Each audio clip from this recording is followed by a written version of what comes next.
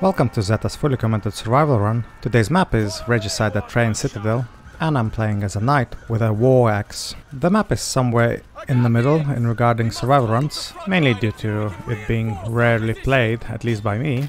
There are only two ballistas, one inside the city and one outside the city gates. And uh, you can easily fall down the bridge which is connected to the main castle gates. So without further ado, let's start.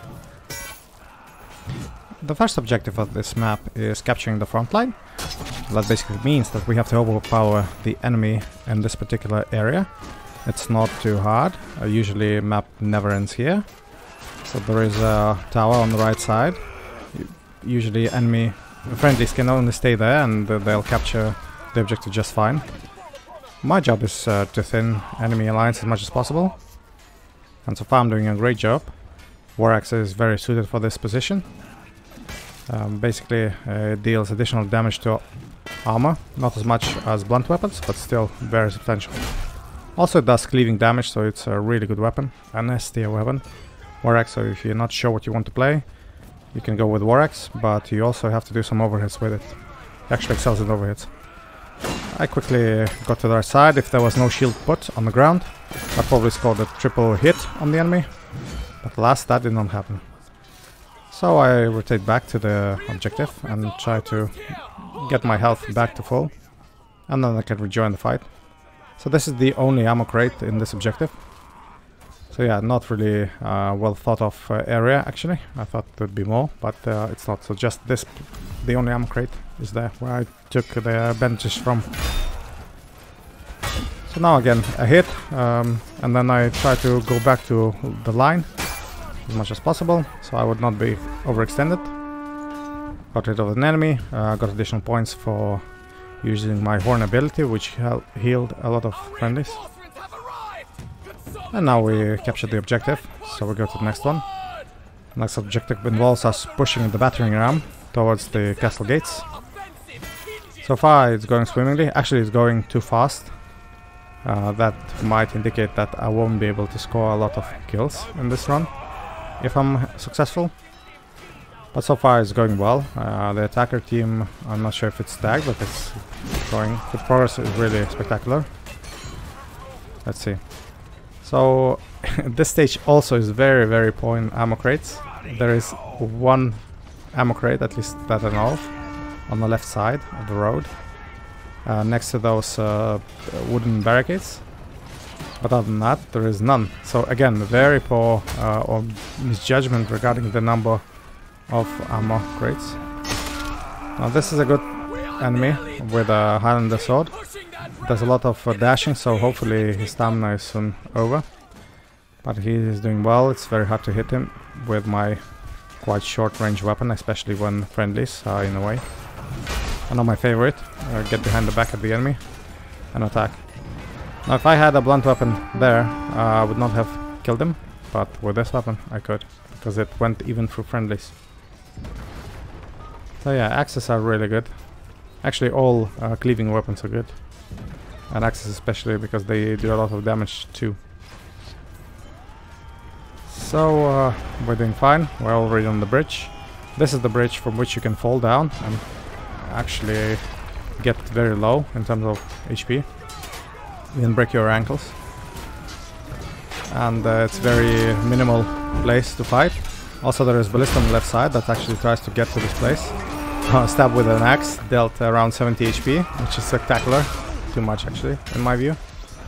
Oh well. The Ballista is not mounted for some reason, so enemy team is slacking off a bit. There is archer peppering in this place too, so I have to move, not stand still. I don't have shield. So just moving is enough. Now my drags connect really well. Unfortunately I didn't get the kill. Um, it wasn't kill steal, uh, it's okay. There are quite a few friendlies here too. Now remember I'm out of bandages, so I rotate back to the only ammo crate I know and get it. Of course I can go inside the castle itself with a broken wall, but I don't want to do it just yet because uh, it's close to enemy spawn and I might not return from there. And this place is actually very secure. Except that there's a good person mounting ballista So then it's challenging. But at the moment I see that it is not well mounted. Now a bit of uh, poking inside the uh, castle wall.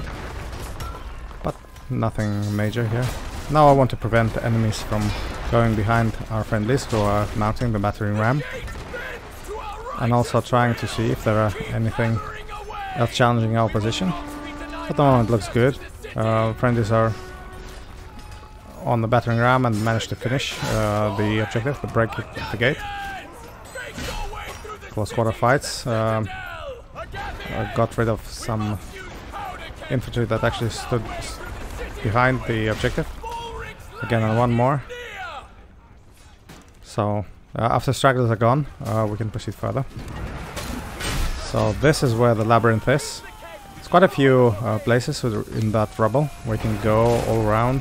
Some of them uh, have access already, the others do require a powder keg, uh, which can be used to blow up some objective. Uh, I'll show you.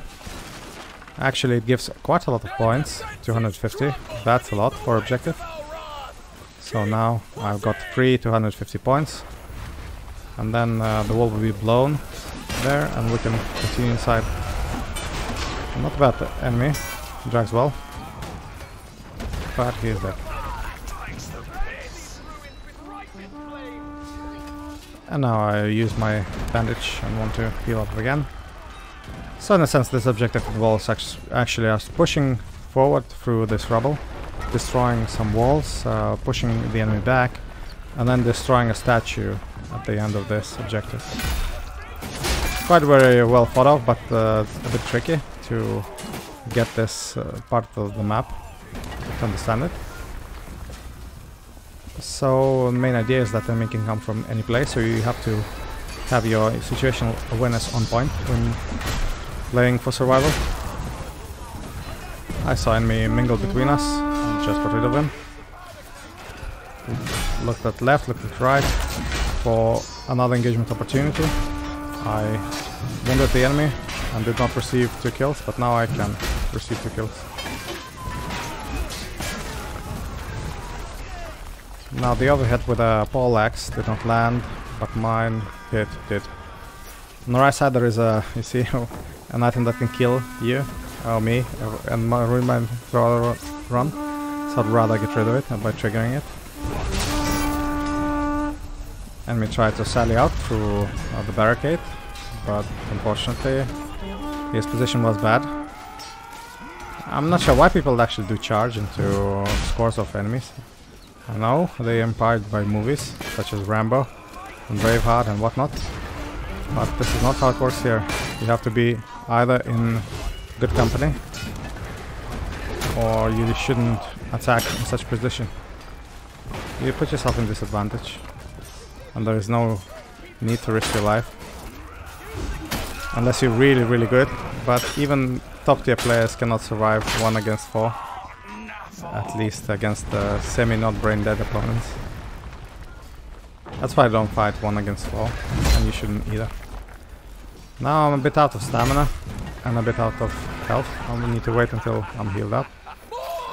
Enemy has incurred quite a lot of stamina hit, but did not do anything regarding damage.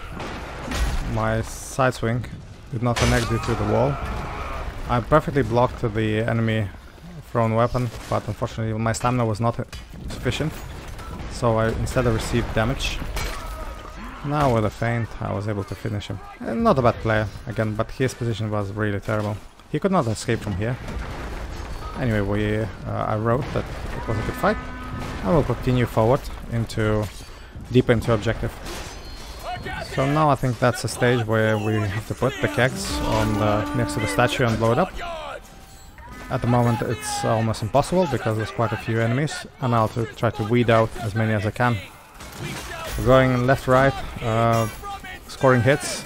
Not necessarily to kill them, just incur a lot of damage so friendlies can kill them. Team effort. Again, overhead with a pole weapon did not work. It's a bit tricky uh, with those, uh, especially if you are accelerating an overhead. It can be too quick and you won't hit it. So practice more, especially against moving opponents. I know it's not the hardest, not the easiest thing to do. Also you can do drag overheads, then the chances of you hitting somebody increases them dramatically. And now I'm returning back to the fight. Uh, there is a balli second ballista on the right side, but it's now mounted at friendly, so I don't need to pay much attention at it. Got a hit, and also a friendly javelin in the back. Luckily, there is an ammo crate right here, right next to the objective.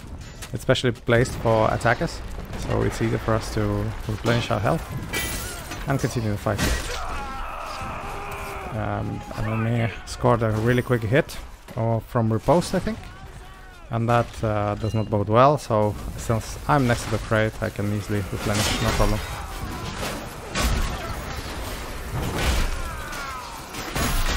I'm just uh, doing the wicked sick.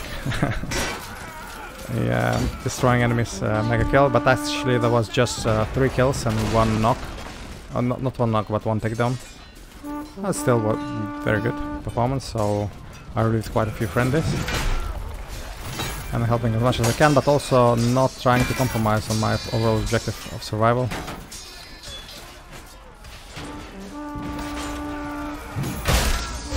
And enemy is doing, not doing well. There's still 4 minutes left of this objective, and we almost did it. This is actually the place where defenders are able to defend with a competent team, quite often. But apparently our team is better. So this is another ammo crate for this objective. Also very convenient, it shields you from archers and any ranged opponent. Some throwing daggers to additionally give me advantage. And I'm chosen as Argon because I'm first in the scoreboard for my team. And still got two kills after that. So Argon is like super duper hero. what he does is deals immense amount of damage with his uh, longsword. Even simple hits have additional damage to enemies. You can see plus 100%. So if all we had usually would deal just um, 70 damage, the heavy overhead here does I think 140 or 130. That's really immense amount of damage. There you go, a simple stab, just 110 damage. So there is damage amplification, and I think it's to ensure that uh, the hero is able to dish out a lot of damage when fighting against a lot of opponents, and I mean a lot. I think my highest score with this, uh, with Argon, was something around 80 kills and just one death. But it's not important, uh, just enjoying the game and immense overpowered hero. Now I was able to get even to the place where Malric usually hides here, scours, because he's afraid of straight up fight. I have to go and fetch him myself. I'm able to do some damage. But I'm also being peppered by... Oh no, that's actually... Oh, I killed friendly.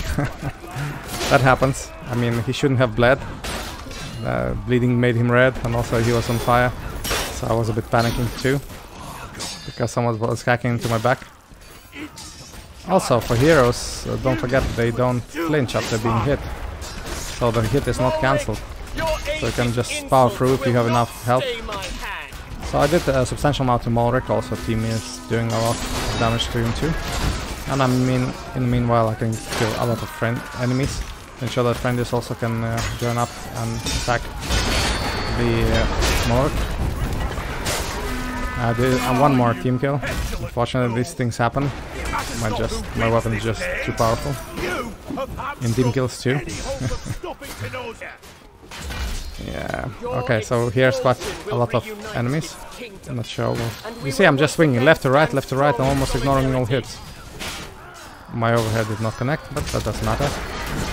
One, two. Again, really overpowered weapon. I think such hero is broken, of course. But this map is somehow um, somehow balanced, and that's mainly because enemy spawn is really close.